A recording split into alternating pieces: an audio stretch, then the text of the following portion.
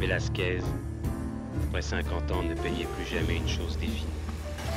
Il errait autour des objets avec l'air et le crépuscule. Il surprenait dans l'ombre et la transparence des fonds, les palpitations colorées.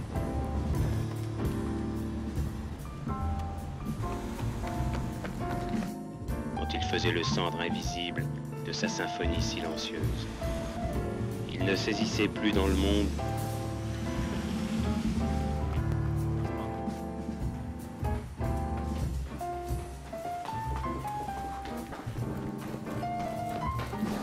pénétrer les uns dans les autres les formes et les tons par un progrès secret et continu.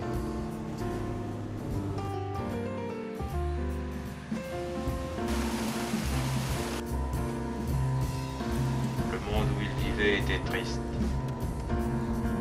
roi dégénéré.